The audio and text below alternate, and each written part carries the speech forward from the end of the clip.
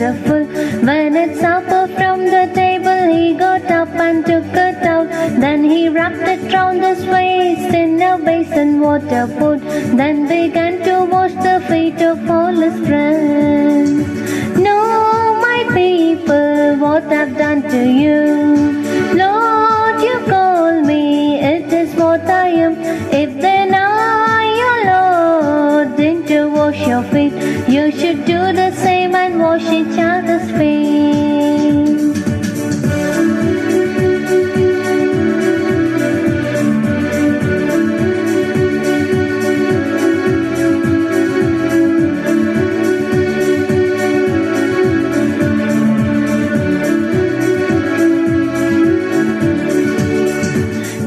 Always loved his own and he showed it to the full. When he came to Simon Peter, the apostle said to him, Never shall you wash my feet. Then the Lord replied to him, It is not for you to know what now I do. No, my people, what I've done to you. Lord, you call me, it is what I am. If then I, didn't you wash your feet, you should do the same and wash each other's feet.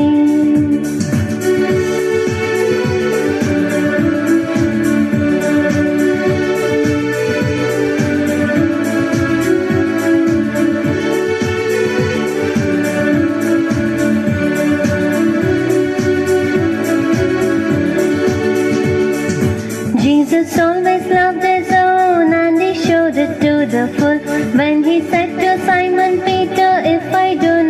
wash your feet, you can have no part with me. Then said Peter to his Lord, Wash my hands, my head, and not my feet alone.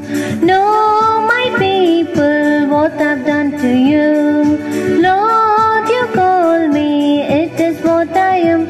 If then I, your Lord, didn't you wash your feet?